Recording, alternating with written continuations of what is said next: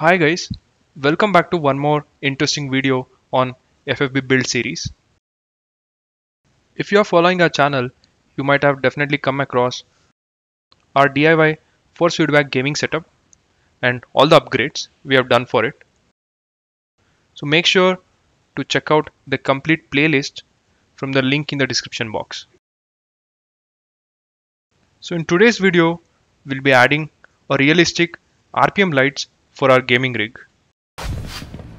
Okay, scene 82. Village chase. Action!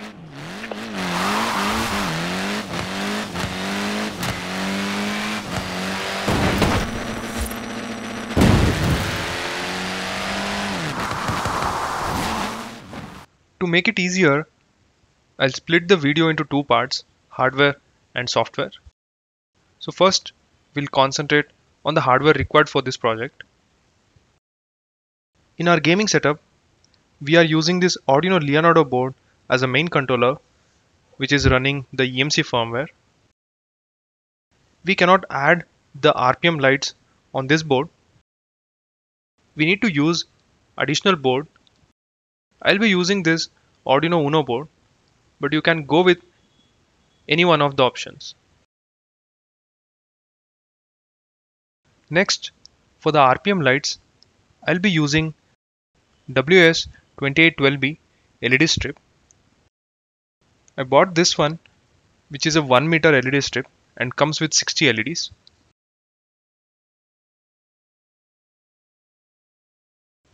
But you can go with any number. I have cut the strip equally into two pieces having 30 LEDs on each side. Since I'll be adding on both the sides of the rig. Moving on to the connections, it's very simple. We have three terminals, 5 volts, data in and ground. So we have to ensure the direction here 5 volts and ground goes to Arduino 5 volts and ground and the data in goes to digital pin 6. I'll also add the other piece of LED strip to the same pins in parallel and this is optional.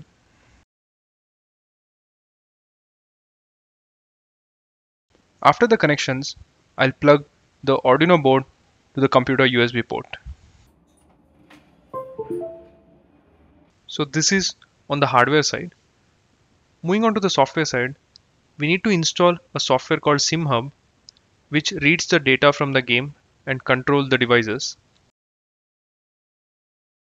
So first download the SimHub installer file from the official website.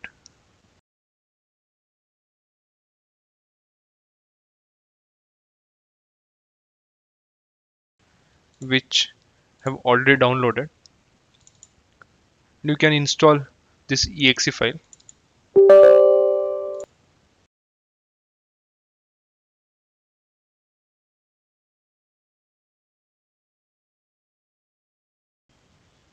during installation process make sure you have internet connection in your computer because the tool downloads some dependencies.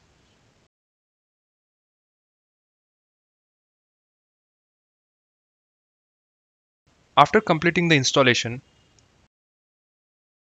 open SimHub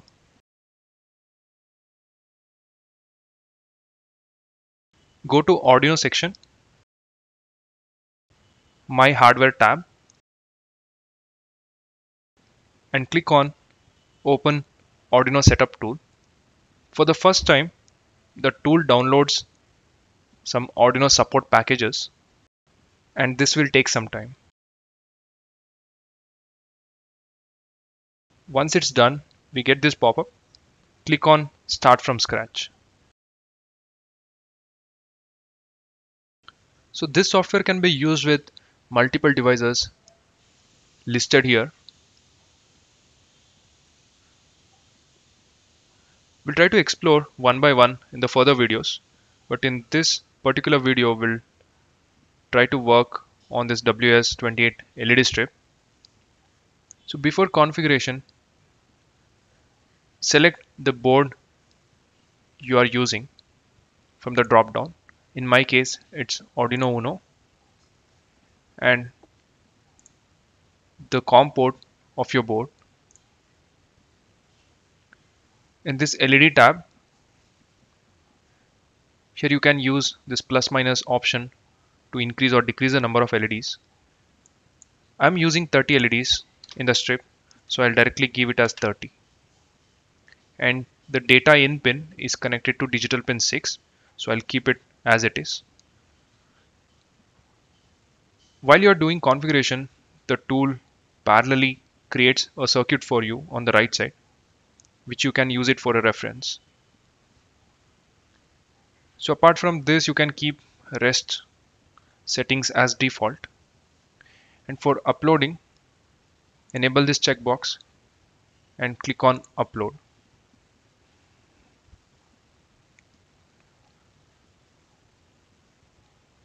After uploading, we can close this page and here select the RGB LED tab. So this is where you can configure the effects for your LED strip. Already we have one group by default. Inside this, there are multiple effects like flag, RPM, speed limiter, and car start. So you can decide whichever effect is required for you and enable or disable using these buttons.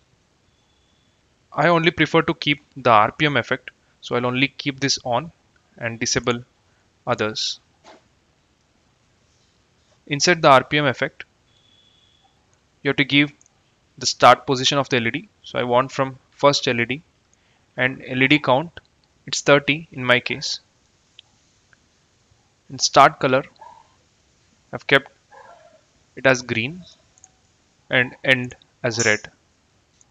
The RPM mode, it's in percentage. Minimum is 0 and max is 100.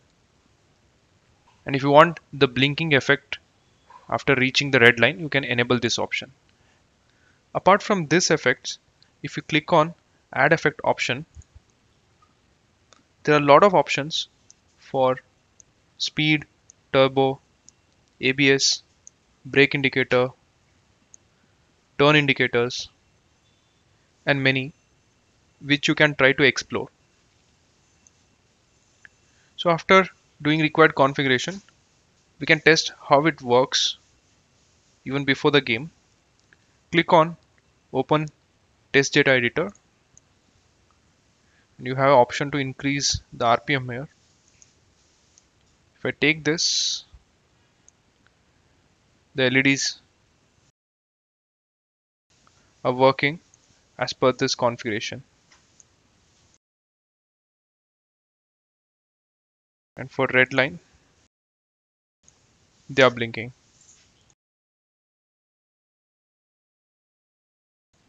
You can also change the color or any other parameters in runtime. For example, I'll keep the start color as blue and end color as orange.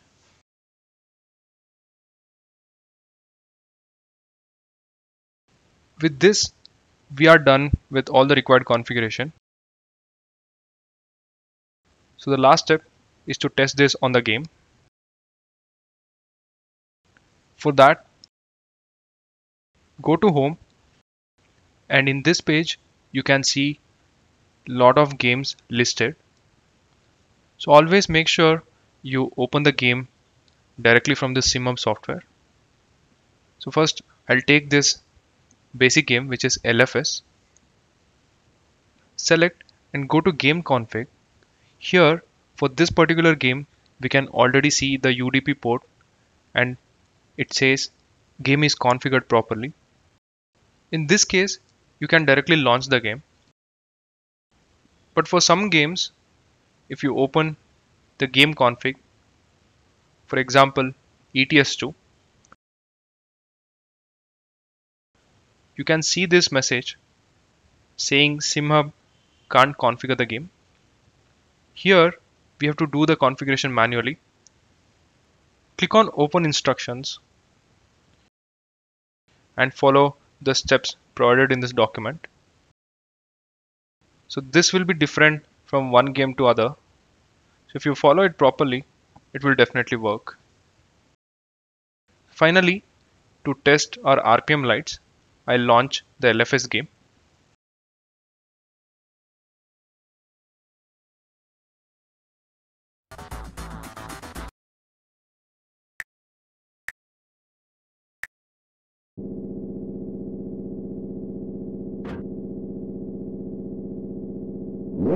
Ooh.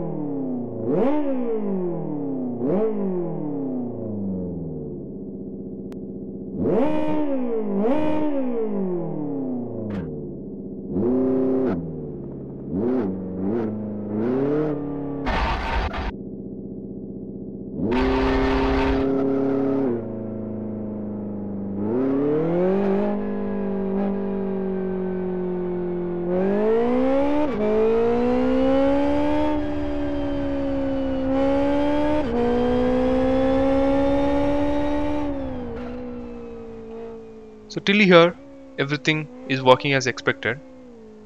At last I'll mount this RPM lights on my gaming rig.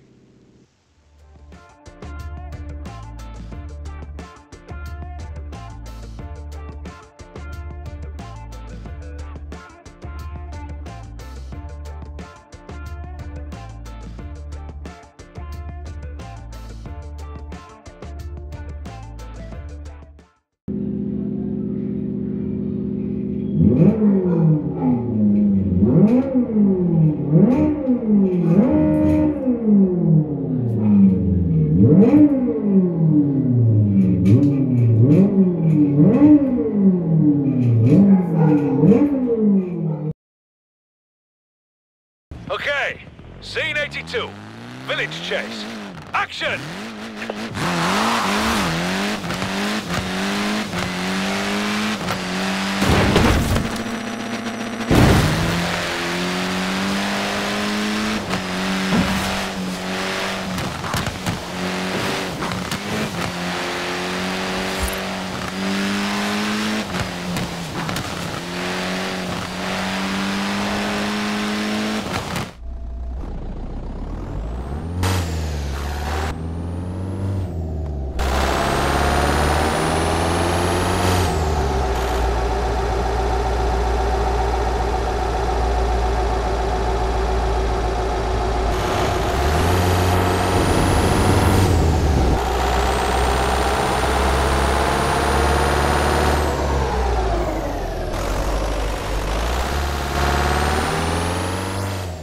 So that's all for this video.